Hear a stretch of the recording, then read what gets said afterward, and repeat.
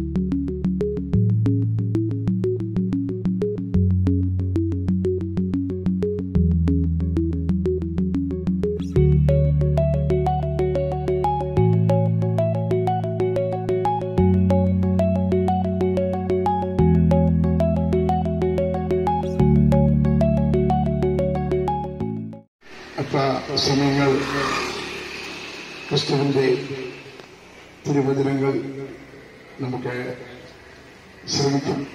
നാമത്തെ കടമേലായ നായൻ യേശുക്രിസ്തുവിന്റെ നാമമാകിയ സ്തോത്രം. അത് ഞങ്ങളുടെ പൂർവ പിതാവായിരുന്ന തോമസ് ശ്രീയ ഞങ്ങളുടെ നാട്ടിൽ രണ്ടായിരം വർഷം മുമ്പ് വന്ന് ഈ ദേശത്ത് ഈ പള്ളി സ്ഥാപിക്കുവാനും ഈ ദേശത്ത് ശബത്തിന്റെ സുവിശേഷം അറിയിപ്പാൻ ഇടയായി. ഇഹലോകത്തിൽ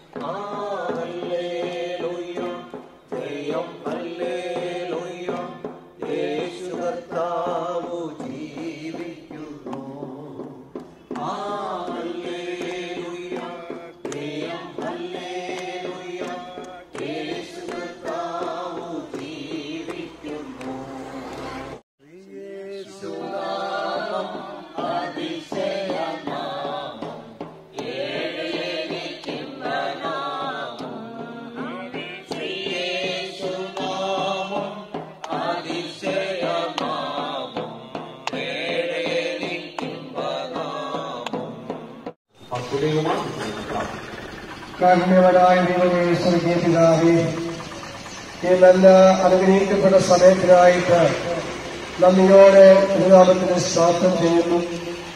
കഥാവെ ഈ ദേശത്തും കടന്നു വന്നു. കഥാവെ അങ്ങയെ സാക്ഷീകരിക്കുവാൻ കഥാവി നൽകിയ നല്ല അവസരത്തിനായി സ്വാഗതം ചെയ്യുന്നു.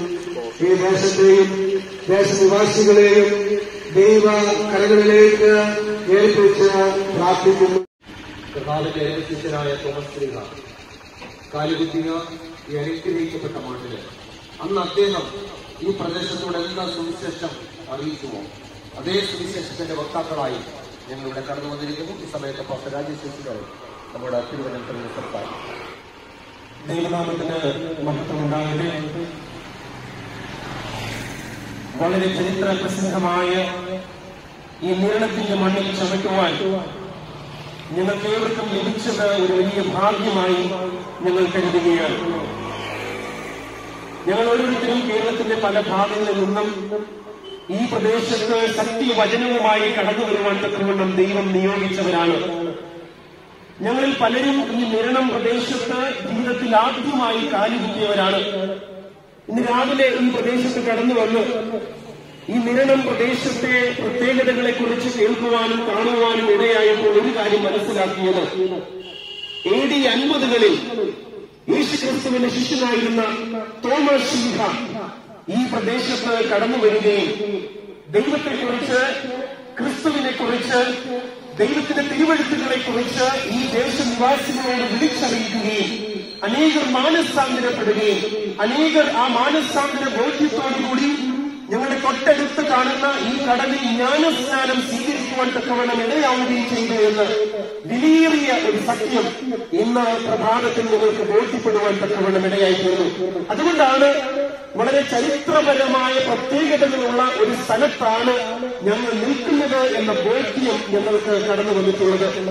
തോമസ് എന്ന അപ്പോസ്തോലന് ലോകത്തിന്റെ പല ഭാഗങ്ങളിലും കടന്നു പോകുവാൻ അവസരമുണ്ടായിരുന്നു. പല രാജ്യങ്ങളിൽ പോകുവാൻ അവസരമുണ്ടായിരുന്നു. ഇന്ത്യയിലെ മറ്റ് ഇതര സംസ്ഥാനങ്ങളിലേക്ക് പോകുവാൻ അവസരമുണ്ടായിരുന്നു.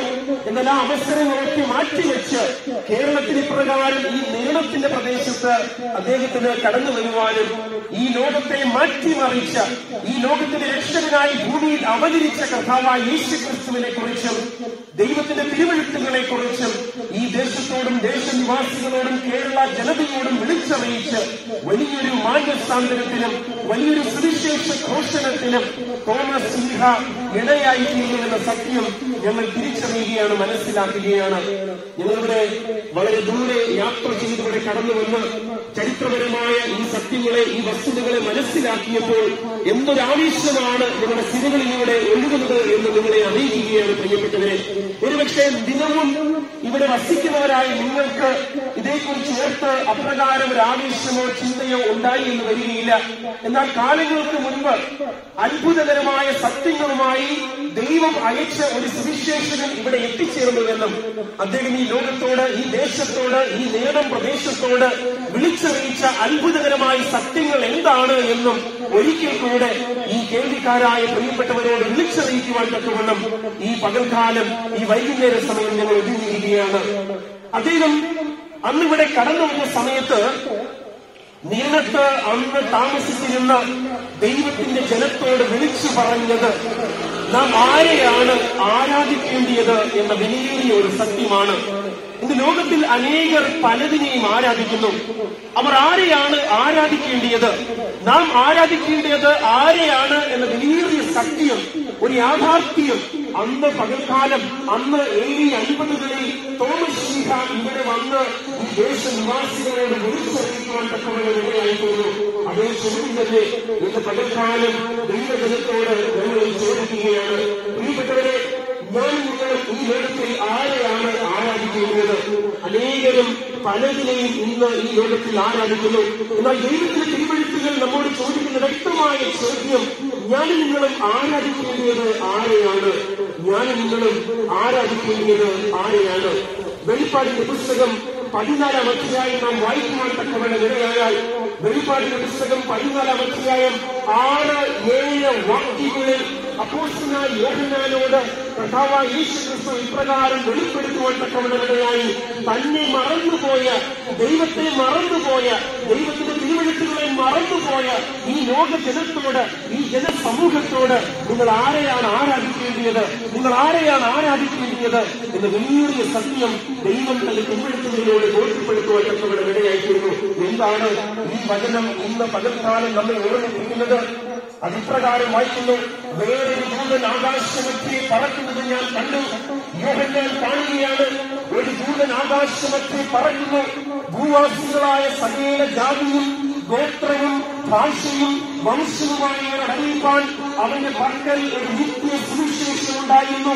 ഈ ലോകത്തുള്ള സകീല മനുഷ്യരോടും ഭൂവാസികളായ സകീല ജാതിയും ഗോത്രവും ഭാഷയും വംശവുമായവരോട് അറിയിപ്പാൻ ഒരു നിത്യ സുവിശേഷം ഒരു ദൂതന്റെ പക്കലുണ്ടായിരുന്നു. ഈ ലോകത്തുള്ള സകല മനുഷ്യരും കേൾക്കണം. അറിയണം എന്ന ഉദ്ദേശത്തോടു കൂടി സകീന ജാതികളെയും സകീന ഗോത്രങ്ങളെയും ജാതിമത വ്യത്യാസങ്ങളില്ലാതെ നിറവ്യത്യാസങ്ങളില്ലാതെ രാജ്യവ്യത്യാസങ്ങളില്ലാതെ ഗോത്ര വ്യത്യാസങ്ങളില്ലാതെ ഈ ലോകത്ത് ജീവിച്ചിരിക്കുന്ന സകീന മനുഷ്യരും അറിയണം എന്ന താല്പര്യത്തോടുകൂടി ഒരു ദൂതൻ അത്യുച്ചത്തിൽ ഇപ്രകാരം വിളിച്ചു പറയുവാൻ തക്കവരുടെ ഇടയായിത്തീർന്നു. എന്താണ് ആ ദൂതൻ വിളിച്ചറിയിച്ചത്? ദൈവത്തെ ഭയപ്പെട്ട് അവന് മഹത്വം കൊടുക്കുകയും അവന്റെ ന്യായവിധിയുടെ നാഴിക വന്നിരിക്കുന്നു ആകാശവും ഭൂമിയും സമുദ്രവും നീരുറവുകളും ഉണ്ടാക്കിയവനെ ആരാധിപ്പീൻ? നീരുറവുകളും ഉണ്ടാക്കിയവനെ നമസ്കരിപ്പീൻ? എന്ന് ആ ദൂതൻ അത്യുച്ചത്തിൽ വിളിച്ചു പറഞ്ഞുകൊണ്ടിരുന്നു. എത്ര പ്രധാനപ്പെട്ട ഒരു തിരുവിടത്താണ് പ്രിയപ്പെട്ടവരെ നാം ഇന്ന് വായിപ്പാൻ തക്കവണ്ണം ഇടയായത്. ഈ ലോകത്തിൽ മറ്റേതൊരു സംസ്ഥാനത്തെക്കാളും ഏറ്റവും കൂടുതൽ സാക്ഷരതയുള്ള ഒരു സംസ്ഥാനമാണ് കേരളം. ഏറ്റവും അധികം വിദ്യാഭ്യാസമുള്ള ഒരു സംസ്ഥാനമാണ് കേരളം. ഏറ്റവും കൂടുതൽ നന്നായി എഴുത്തും വായനയും അറിയുന്ന ഒരു സംസ്ഥാനമാണ് കേരളം. എന്നാൽ ഇന്ന് ഇത്രത്തോളം ചരിത്ര സത്യങ്ങൾ നമ്മുടെ മുൻപാകെ വെളിപ്പെടുത്തപ്പെട്ടിട്ടും ഇന്നും യാഥാർത്ഥ്യങ്ങളെ ഉൾക്കൊള്ളാതെ ഞങ്ങൾ ഒന്നും അറിഞ്ഞിട്ടില്ല എന്ന ചിന്തയാൽ നിലനിൽക്കുന്ന എല്ലാ നാമതയെ ക്രിസ്ത്യാനികളോടും ദൈവം പറയുന്നു ഞാനല്ല ഇപ്രകാരമുള്ള തെറ്റായ ആരാധനാ രീതികളെ ലോകത്തിൽ സ്ഥാപിച്ചത്. ഞാനല്ല എന്റെ തിരുവെഴുത്തുകളല്ല മറിച്ച് നിങ്ങൾ മനസ്സിലാക്കുക ദൈവത്തിന്റെ തിരുവെഴുത്തുകൾ അനുഗ്രഹിച്ച് വിശുദ്ധീകരിച്ച് വേർതിരിച്ച ഏഴാം ദിന ശുശ്രൂഷ ഏഴാം ദിന ആരാധന.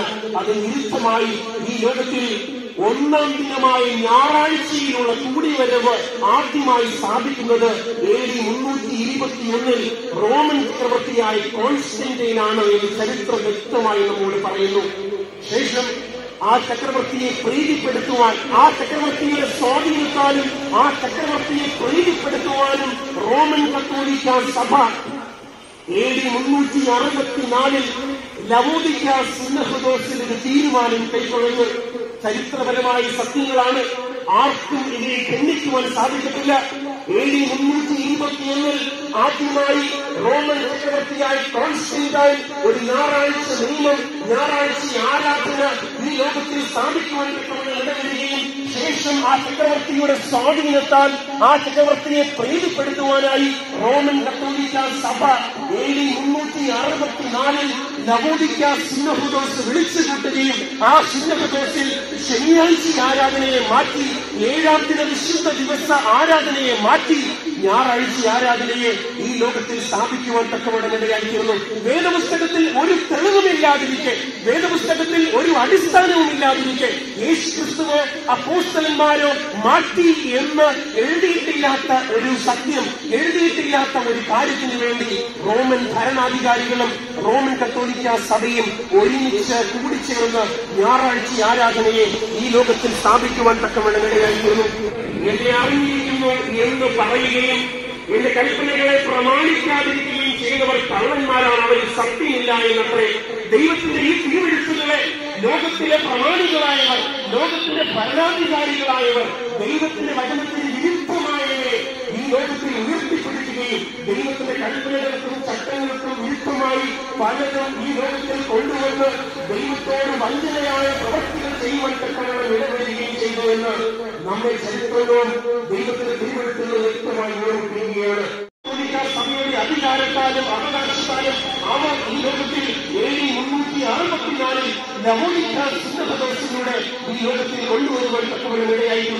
എപ്പോഴാണ് കേരളത്തിൽ എ ഡി അൻപത്തിരണ്ട് അൻപത്തിമൂന്ന് കാലഘട്ടത്തിൽ കേരളത്തിൽ സെന്റ് തോമസ് കടന്നു വന്ന് സത്യവചനങ്ങൾ അറിയിപ്പാൻ തക്കവണ്ണയായ ഈ കേരളത്തിൽ ഈ പ്രദേശങ്ങളിൽ എന്നു മുതലാണ് പ്രിയപ്പെട്ടവരെ ഒരു ഞായറാഴ്ച ആരാധനയുടെ മാറ്റം കടന്നു വന്നത്.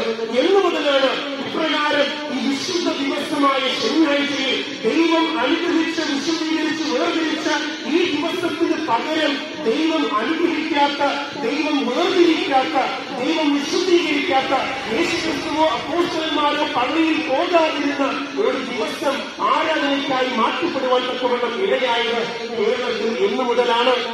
ചരിത്രം പരിശോധിച്ചാൽ അതിന് വ്യക്തമായ തെളിവുകൾ നമുക്ക് കാണുവാൻ തക്കവണ്ണം സാധിക്കും. ആയിരത്തി അഞ്ഞൂറ്റി തൊണ്ണൂറ്റി ഒൻപത് ആയിരത്തി അഞ്ഞൂറ്റി തൊണ്ണൂറ്റി ഒൻപതിൽ ഉദയം പേരിൽ സുന്നഹദോസ് കൂടുവാൻ തക്കവണ്ണം ഇടയായി. ആയിരത്തി അഞ്ഞൂറ്റി തൊണ്ണൂറ്റി ഒൻപതിൽ ഉദയം പേര് സുന്നഹദോസ് കേരളത്തിൽ ഞായറാഴ്ച ആരാധന നിലവിൽ കൊണ്ടുവരുവാൻ തക്കവണ്ണം ഒരു തീരുമാനമെടുക്കുന്നു. എപ്പോഴാണ്? ആയിരത്തി അഞ്ഞൂറ്റി തൊണ്ണൂറ്റി ഒൻപത് ഇന്ന് രണ്ടായിരത്തി ഇരുപത്തിരണ്ട് ചില വർഷങ്ങൾക്ക് മുൻപ് ആയിരത്തി അഞ്ഞൂറ്റി തൊണ്ണൂറ്റി ഒൻപതിൽ ഉദയം പേരുള്ള സ്ഥലത്ത് ഒരു സിംഹദോസ് കൂടി വരികയും അവിടെ ചരിത്രപരമായ ഒരു ആരാധനാ രീതിയിലെ മാറ്റത്തിന് വേണ്ടി അവർ തീരുമാനമെടുക്കുവാൻ തക്കവണ്ണം ഇടയാവുകയും ചെയ്തു. ദൈവത്തിന്റെ വെളിവെടുപ്പുകളിൽ യാതൊരു തെളിവുകളോ അടിസ്ഥാനമോ ഇല്ലാത്ത ഒരു മാറ്റത്തിന് ചെയ്യുവാൻ തക്കവണ്ണം ഇടയായിത്തീർന്നു ആയിരത്തി എണ്ണൂറ്റി തൊണ്ണൂറ്റി ഒൻപത് ജൂൺ മാസം ഇരുപത് മുതൽ ഇരുപത്തിയാറ് വരെ നൂറ്റി അൻപത്തിമൂന്ന് പുരോഹിതന്മാർ അറുന്നൂറ്റി അറുപതിൽ പരം അന്മായ പ്രതിനിധികൾ പങ്കെടുത്ത ഒൻപത് സമ്മേളനങ്ങൾ കൂടി വന്ന ഉദയന്റെയും സുന്ദരദോസ് ഉദയന്റെയും കൂടി വരുവാൻ തക്കവണ്ണം അവിടെ ആ ആയിരത്തി അഞ്ഞൂറ്റി തൊണ്ണൂറ്റി ഒൻപതിൽ ഒൻപത് സമ്മേളനങ്ങളിലായി ഏകദേശം ഇരുന്നൂറ്റി അറുപത്തിയേഴ് തീരുമാനങ്ങൾ അവർ തക്കവണ്ണം ഇടയായിത്തീർന്നു എത്ര തീരുമാനങ്ങൾ ഇരുന്നൂറ്റി അറുപത്തിയേഴ് തീരുമാനങ്ങൾ അതിൽ ഈ ഇരുന്നൂറ്റി അറുപത്തിയേഴ് തീരുമാനങ്ങൾ മൂന്ന് തീരുമാനങ്ങൾ വളരെ പ്രധാനപ്പെട്ടവയായിരുന്നു. ഏതൊക്കെയായിരുന്നു അത്? ഒന്ന് പുരോഹിതന്റെ ബ്രഹ്മചര്യം ആവശ്യപ്പെടുന്ന കൽപ്പന ഉദയഗിർ സിംഹദോസിൽ അവർ പ്രഖ്യാപിക്കുവാൻ ഇടയായി.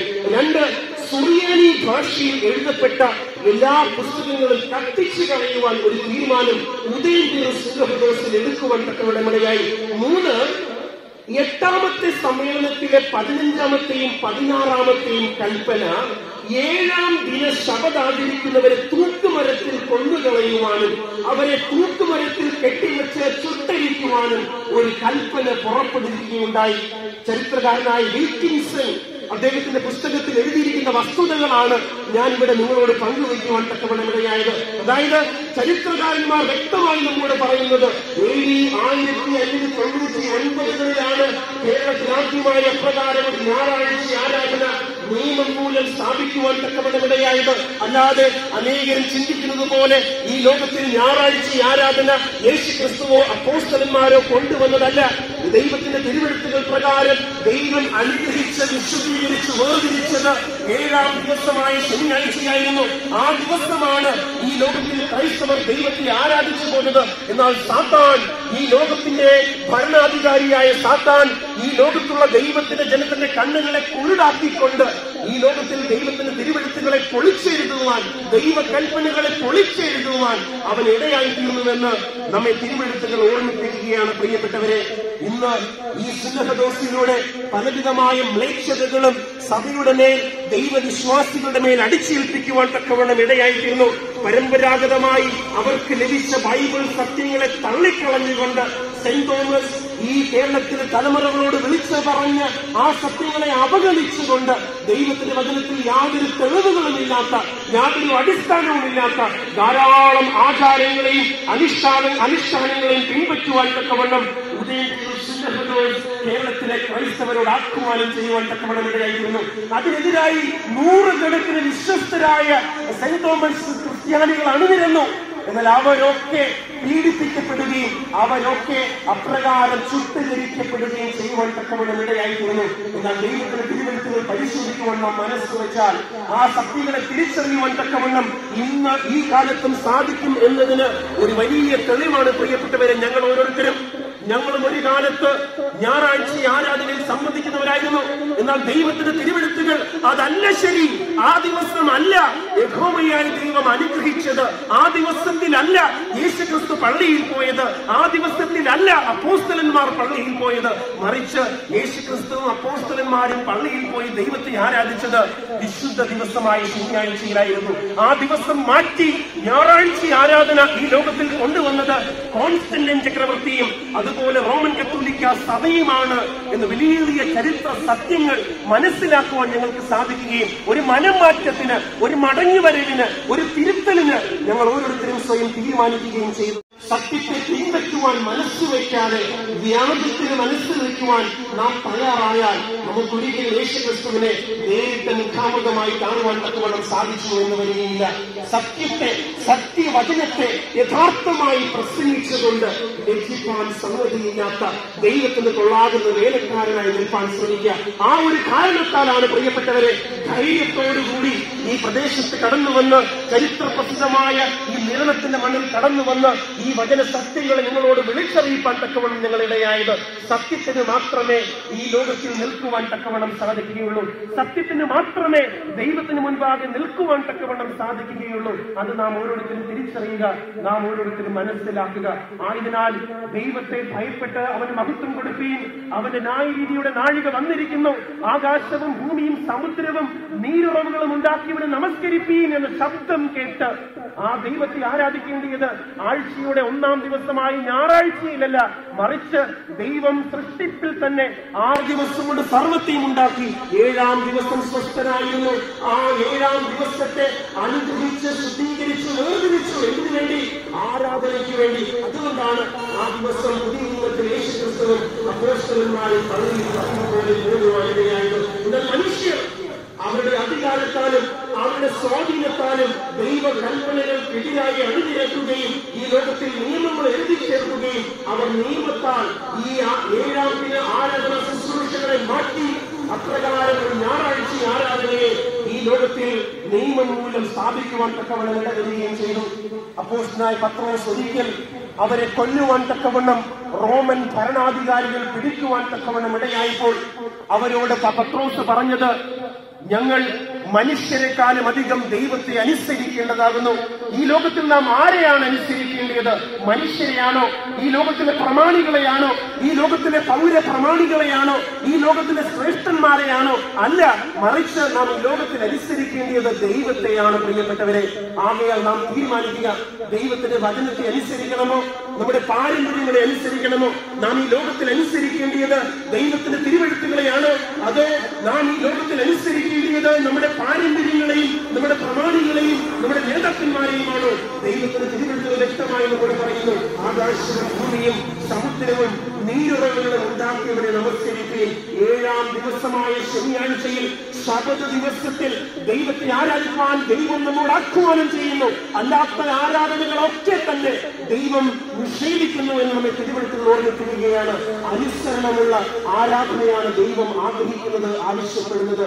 ആയതിനാൽ പ്രിയപ്പെട്ടവരെ നിരണം പ്രദേശത്ത് തോമസ് സിലിഹായിലൂടെ ദൈവത്തിന്റെ തിരുവനന്തപുരം കേൾക്കുവാൻ ഭാഗ്യം ലഭിച്ച പ്രിയപ്പെട്ടവരെ അവരുടെ പിന്തലമുറക്കാരായവരെ ആ ശത്രുക്കളെ തിരിച്ചറിഞ്ഞുകൊണ്ട് യഥാർത്ഥമായ ആരാധന ശുശ്രൂഷയുടെ അനുഭവത്തിലേക്ക് വചന സത്യങ്ങളിലേക്ക് മടങ്ങിച്ചെന്ന് ദൈവത്തിന്റെ പ്രിയപ്പെട്ട മക്കളായി ഉയർത്തെഴുന്നേൽക്കുവാൻ ഒരു ശുശ്രൂഷയുടെ അനുഭവത്തിലേക്ക് ഉയർത്തെഴുന്നേൽക്കുവാൻ ഇന്നത്തെ പകൽക്കാലം ഈ വചനത്തിന്റെ കേൾവിയിലൂടെ പരിശുദ്ധനായി ദൈവം നിങ്ങളോട് ആഹ്വാനം ചെയ്യുകയാണ്. നിങ്ങൾ ആരെ അനുസരിക്കും? പത്രോസ് പറഞ്ഞു ഞങ്ങൾ മനുഷ്യരെക്കാളും അധികം ദൈവത്തെ അനുസരിക്കും. നാം ഇന്ന് ഈ അന്ത്യനാളുകളിൽ ആരെ അനുസരിക്കും? ദൈവത്തെ അനുസരിക്കുമോ?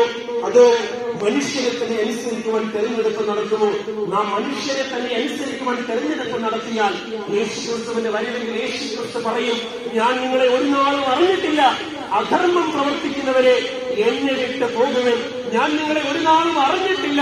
അധർമ്മം പ്രവർത്തിക്കുന്നവരെ എന്നെ വിട്ട് പോകുവൻ.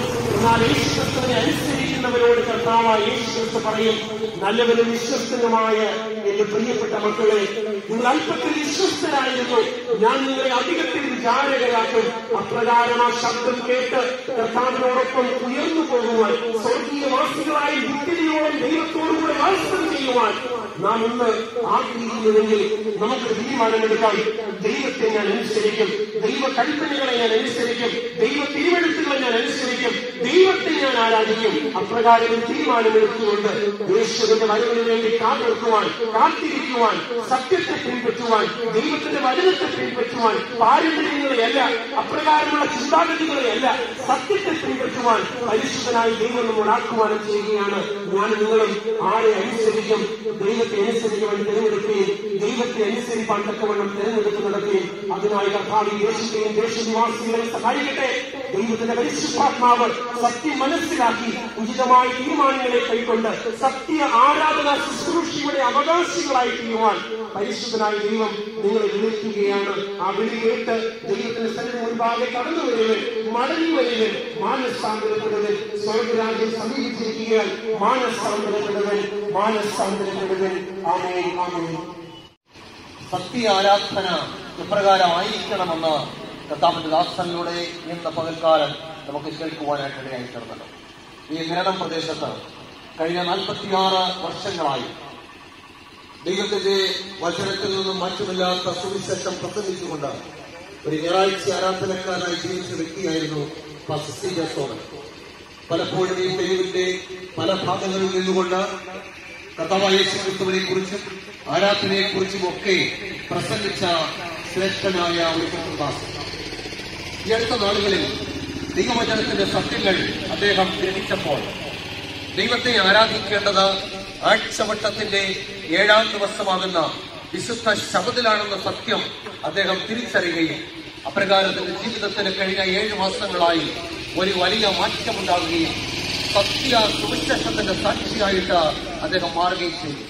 സ്വാമി യേശുനാഥൻ വിളിക്കുന്നു ശ്രീധർമ്മയ്യൻ. തുളച്ചതം പാലിട്ട് എൻവലമേകിന്ന ഉറച്ചു ഞാൻ സ്വീകരിച്ചു മകാശയനേ ക്രിസ്തിക ജീവിതം ഞാൻ രുചിച്ചുകൊണ്ടിരിക്കുന്നു തിരിച്ചിരി പോകില്ല പഴയ വീട്ടിൽ ഈ കുടിക്കില്ല മദ്യം ഞാൻ ഒരിക്കലുമേ. ക്രിസ്തീയ ജീവിതം ഞാൻ രുചിച്ചുകൊണ്ടിരിക്കുന്നു. തിരിച്ചിനി പോകില്ല പഴയ വീട്ടിൽ ഈ കുടിക്കില്ല ജാതിയെ കഴക്ക വെള്ളം. സ്വാമിയാമനേശുനാഥൻ വിളിക്കുന്നു ശ്രീകർമ്മ തുളച്ചതം പാലിട്ട് എന്മലമേലിന്ന് ഉറച്ചു ഞാൻ സ്വീകരിച്ചു. മകാശയനെ യേശു വീണ്ടും വീണിക്കുന്നു തിരയുന്നു തേരുവീനായി നശിച്ച ജനത്തിന്മേലായി നോട്ടമല്ലേ ദേവൻ ആശ നശിച്ചവർക്കു ശരണയോഗ്യ സ്വാമിയാമൻ യേശുനാഥൻ വിളിക്കുന്നു ശ്രീകർമ്മൻ തുളച്ചതാം പാലിട്ട് ജന്മനമേകിന്ന് ഉറച്ചു ഞാൻ സ്വീകരിച്ചു മഹാശയനേ. വിശുദ്ധിയെ തികച്ചു നാം ഒരുങ്ങി